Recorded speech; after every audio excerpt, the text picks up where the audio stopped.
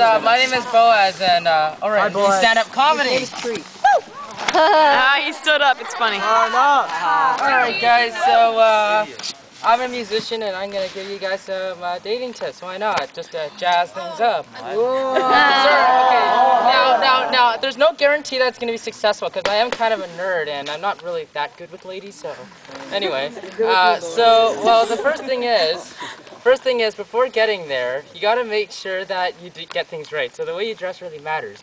So you want to make sure that your apparent, your appearance will be sharp. I don't get it. All right, so No, I get it. Means you're a all right, guys. So then afterwards, once you get dressed out, you have to get there, right? So when you're getting, when you're getting there, you get, say you have to cross a road. So you got to be really careful, otherwise you will uh, be flat.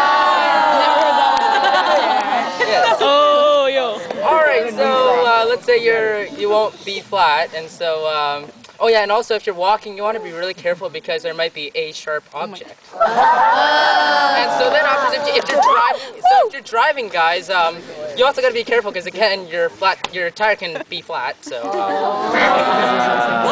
yeah. So anyway, It's was funny every single time. so anyway, let's say you got there finally, and you're at the restaurant, and your lady's sitting there, and you know you're sitting and you're talking. And so what you want to do is that when you talk, you want to be really careful. You want to be natural. That's hey. yes,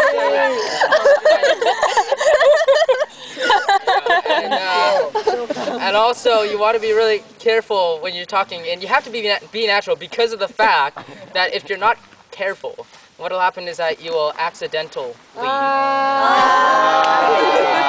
Hilarious.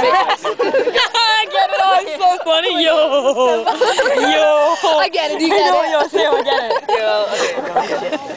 you'll accidentally make mis- a mistake, and if you make that mistake, the problem is uh, either you lose your lady friend, or uh, she will. If you're, if she's a drummer, she will beat you with her sticks. Alright,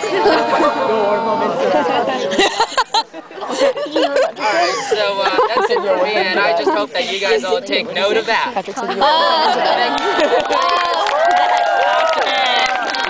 Mistake, you